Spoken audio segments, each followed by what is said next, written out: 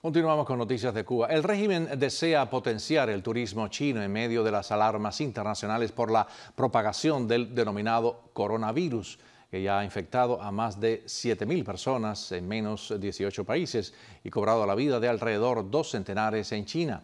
Joandy Castañeda amplía. En plena explosión de la epidemia del coronavirus en China, Reinier Rondón, funcionario del turismo en Cuba, mencionó el interés de Pekín y La Habana por incrementar la afluencia de turistas chinos a la isla. Las declaraciones fueron hechas el pasado 22 de enero a la agencia de noticias china Xinhua.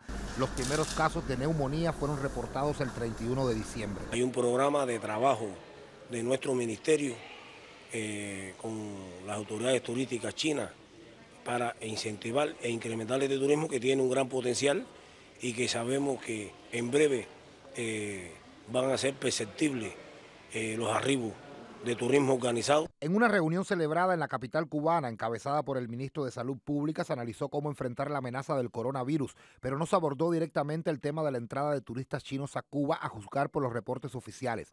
El deterioro de las instalaciones de salud pública en la isla podrían contribuir, a opinión de los expertos, a una rápida propagación del virus. Si tú no tienes condiciones higiénicas y sanitarias para tratar de evitar y controlar y poder aislar a las personas, el virus va a ser una epidemia. Si eso entra en Cuba y Dios lo proteja, tú sabes, eso va a ser una epidemia totalmente. La Organización Mundial de la Salud declaró estado de emergencia internacional debido a que la infección del coronavirus ya ha llegado a 18 países diferentes a China.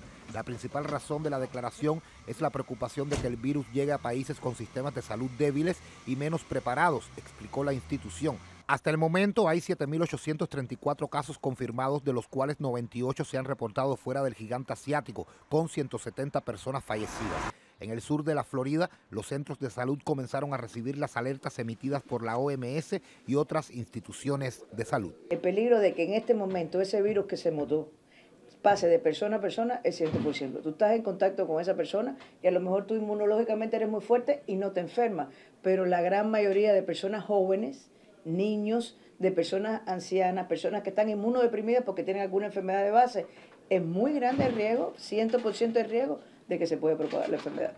Varios gobiernos están enfrentando la epidemia con precauciones excepcionales. El primer ministro ruso, Mikhail Mijustin, decretó el cierre de las fronteras terrestres con China para tratar de frenar la expansión hacia el país.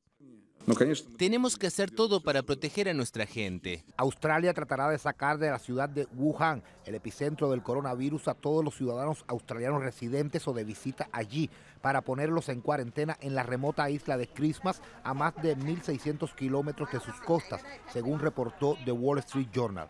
British Airways, Dutch Lufthansa y Lion Air de Indonesia son las primeras aerolíneas que anunciaron la suspensión de vuelos desde y hacia territorio chino.